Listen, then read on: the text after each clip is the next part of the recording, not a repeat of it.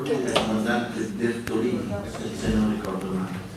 E praticamente, in base alle leggi sulla navigazione, Bertolini eh, sposta la sua rotta eh, in atterraggio a Pisa per passare sulla verticale del, eh, dell'incendio, perché questo prevedono le, le regole della navigazione. Dopodiché avverte la torre di controllo di Pisa.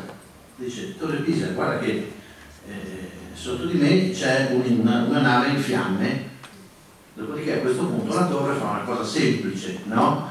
eh, eh fa una triangolazione tra la posizione dell'aereo e, e, e, e l'orario della comunicazione e di salire esattamente il punto nave della, della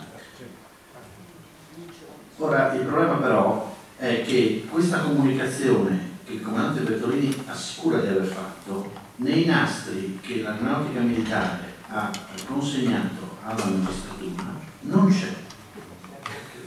Questa comunicazione non c'è. Non solo, ma andando a ficcare il naso in quelle comunicazioni lì si scoprono altre cose interessanti.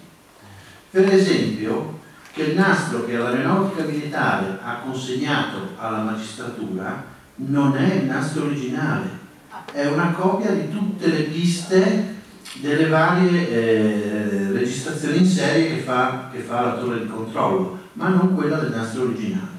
Addirittura la comunicazione che manda l'aeronautica militare ai magistrati è interessante perché c'è un generale che scrive guardate vi alleghiamo il nastro delle comunicazioni terra, bordo terra di tutti i velivoli in volo da quell'ora a quell'ora e in più ci sono tutte le comunicazioni radio sui canali, canale 16, tutta una serie di canali e vi trascriviamo noi con l'orario in ore, minuti secondi di ogni comunicazione tutte le comunicazioni di interesse quindi hanno ascoltato il nastro hanno trascritto tutto quello che è segnando ora, ora questi nastri di registrazione della torre di controllo hanno una banda magnetica laterale in cui non viene registrata nessuna comunicazione radio, ma il registratore in automatico incide per ogni comunicazione l'orario in ore, minuti e secondi.